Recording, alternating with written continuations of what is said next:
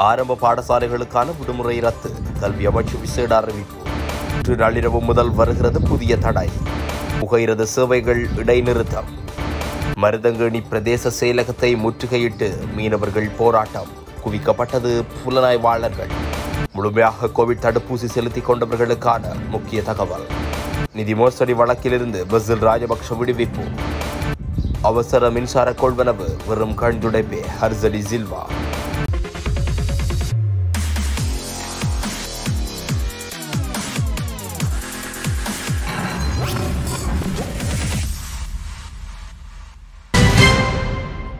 காப்புத்த உயர்தர பரீட்சையின் போது ஆரம்ப பாடசாலைகளுக்கு விடுமுறை வழங்குவது தொடர்பான அறிவிப்பை கல்வி அமைச்சு வெளியிட்டுள்ளது. இரண்டாயிரத்தி இருபத்தி ஓராம் ஆண்டுக்கான கல்வி பொதுத்தராதர உயர்தர பரீட்சை எதிர்வரும் ஏழாம் தேதி முதல் மார்ச் மாதம் ஐந்தாம் தேதி வரை நடைபெறும் என கல்வி அமைச்சின் செயலாளர் விகார மேலதிக செயலாளர் தெரிவித்துள்ளார். எவ்வாறாயினும் அந்த காலப்பகுதியில் ஆரம்ப பாடசாலைகளுக்கு விடுமுறை வழங்கப்பட மாட்டாது என தெரிவிக்கப்பட்டுள்ளது. இதன் அடிப்படையில் பரீட்சை காலத்தில் ஆரம்பதரம் மற்றும் ஆரம்ப பாடசாலைகளுக்கு விடுமுறை வழங்கப்படாது.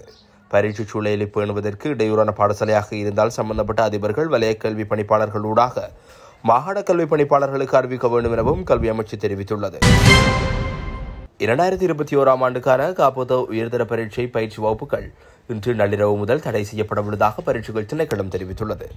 அத்துடன் பரீட்சை முடிவும் வரை பரீட்சார்த்திகளுக்கான டியூசன் வகுப்புகள் நடத்துவது வகுப்புகள் நடத்துவது விரிவுரைகள் கருத்தரங்குகள் மற்றும் பயிலரங்குகள் நடத்துவது கண்டிப்பாக தடை செய்யப்பட்டுள்ளதாக பரீட்சை ஆணையாளர் நாயகம் அறிவித்துள்ளார். இம்மாதம் ஏழாம் தேதி இரண்டாயிரத்தி இருபத்தி ஓராம் ஆண்டுக்கான காப்போத உயர்தர பரீட்சை ஆரம்பமாக உள்ளது. இதேவேளை கொரோனா தொற்றுக்குள்ளான மாணவர்கள் காப்போத உயர்தர பரீட்சைக்கு தோற்றுவதற்கு மருத்துவமனைகளில் விசேட வசதிகள் செய்யப்பட்டுள்ளதாக சுகாதார அமைச்சு தெரிவித்துள்ளமை குறிப்பிடத்தக்கது. சில மார்க்கங்களுடான புகையிரத சேவனைகள் இடைநிறுத்தப்பட்டுள்ளதாக ரயில்வே திணைக்களம் அறிவித்துள்ளது. புகையிரத கட்டுப்பாட்டாளர்கள் சிலருக்கு கொரோனா வைரஸ் தொற்று உறுதிப்படுத்தப்பட்டுள்ள நிலையில் நேற்றைய தினம் பதினான்கு புகையிரத சேவைகளை இடைநிறுத்தியுள்ளதாக புகையிரத பிரதி முகாமையாளர் ஏடிஜி செனவிரட்ன தெரிவித்துள்ளார். இது தொடர்பில் அவர் கருத்து தெரிவிக்கையில் மருதானை புகையிரத தொகுதியுடன் இணைந்த சேவையை மேற்கொண்ட புகையிரத கட்டுப்பாட்டாளர் பதினேழு பேர் கொரோனா வைரஸ் தொற்றுக்குள்ளாகியுள்ளனர். அதனை அடுத்து அவர்களுடன் நெருங்கிய தொடர்புக்குள்ளானவர்கள் தனிமைப்படுத்தலுக்கு உட்படுத்தப்பட்டு வருவதாகவும் அவர் தெரிவித்துள்ளார். வடமராட்சி கிழக்கு மருதங்கணி பிரதேச செயலகத்தை முற்றுகையிட்டு அப்பகுதி மீனவர்கள் இன்று காலை முதல் போராட்டத்தில் ஈடுபட்டு வருவதாக எமது பிராந்திய செய்தியாளர் பிரசாந்த் தெரிவித்தார். அண்மையில் வத்தராயன் பகுதியிலிருந்து மீன்பிடிக்க சென்ற இரண்டு மீனவர்களின் உயிரிழப்புக்கு நீதி கோரியும் இந்திய மீனவர்களின் அத்துமுறலுக்கு நீதி கோரியும் இந்த போராட்டம் மேற்கொள்ளப்பட்டு வருகிறது. மருதங்கணி பிரதேச செயலகத்தின் இரண்டு வாசல்களையும் முடக்கி அதற்கு முன்பாக அமர்ந்திருக்கும் மீனவர்கள் எமது கடற்பரப்பிற்கு இந்தியாவிற்கு விற்கப்பட்டதா? உயிரை குடிக்கும் இந்திய படகை தடுத்து நிறுத்து. இந்திய படகுகளுக்கு நாங்கள் இரையா? வலை வீச உயிர் பயணம் என்ன செய்வோம்? எமது கடல் எமக்கு வேண்டும். கடற்றலில் அமைச்சரே திரும்பிப்பார். மீனவர்களை கொல்லாதே போன்ற கோஷங்களையும் அவர்கள் எழுப்பியுள்ளதாக எமது பிராந்திய செய்தியாளர் தெரிவித்துள்ளார். கோவிட் தடுப்பூசிகள் மூன்றையும் பெற்றுக்கொண்டுள்ள நபர் கோவிட் தொற்றுக்குள்ளானால் அவர்களால் மற்றவர்களுக்கு கோவிட் தொற்றும் வாய்ப்பு மிகவும் குறைவு என மருத்துவ ஆராய்ச்சி நிறுவனத்தின் வைத்தியர் நாதிக ஜானகி தெரிவித்துள்ளார். சுகாதார மேம்பாட்டு பணியகத்தில் நேற்று நடைபெற்ற ஊடகவியலாளர் சந்திப்பில் கலந்து கொண்டு கருத்து தெரிவிக்கையிலேயே அவர் இந்த விடயத்தை குறிப்பிட்டுள்ளார். மேலும் முழுமையாக தடுப்பூசி செலுத்திக் கொண்ட ஒருவர் கோவிட் தொற்றுக்குள்ளான ஏழு நாட்களுக்கு பிறகு தனிமைப்படுத்தப்பட்ட காலத்தை முடிக்கவும் தினசரி கடமைகளை செய்யவும் அனுமதிக்க சந்தர்ப்பம் வழங்கப்படும் எனவும் அவர் கூறியுள்ளார். இவ்வாறு முழுமையாக தடுப்பூசி செலுத்திக் கொண்டவர் கோவிட் தொற்றுக்குள்ளாகினால் ஏழு நாட்களின் பின்னர் மீண்டும் பணிக்கு செல்லும் போது கோவிட் பரிசோதனை அறிக்கை அல்லது பிசிஆர் அறிக்கையை சமர்ப்பிப்பது கட்டாயம் என சுகாதார பிரிவு தெரிவித்துள்ளது.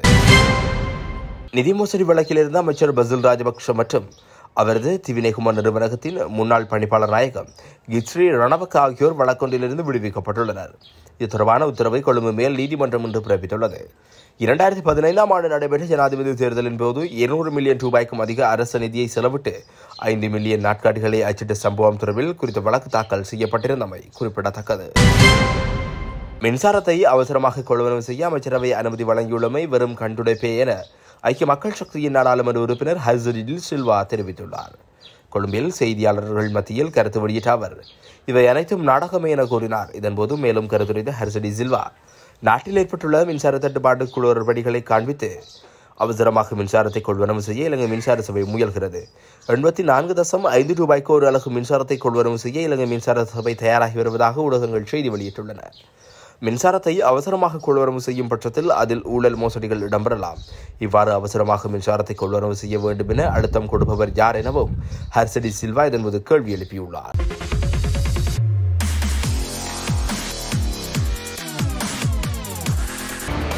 ஆரம்ப பாடசாலைகளுக்கான விடுமுறை ரத்து. கல்வி அமைச்சு விசேட அறிவிப்பு. இன்று நள்ளிரவு முதல் வருகிறது புதிய தடை. புகையிரத சேவைகள் இடைநிறுத்தம். மருதங்கேணி பிரதேச செயலகத்தை முற்றுகையிட்டு மீனவர்கள் போராட்டம். குவிக்கப்பட்டது புலனாய்வாளர்கள். முழுமையாக கோவிட் தடுப்பூசி செலுத்திக் கொண்டவர்களுக்கான முக்கிய தகவல். நிதி மோசடி வழக்கிலிருந்து பசில் ராஜபக்ஷ விடுவிப்பு. அவசர மின்சார கொள்வனவு வெறும் கண்துடைப்பே ஹர்சலி சில்வா.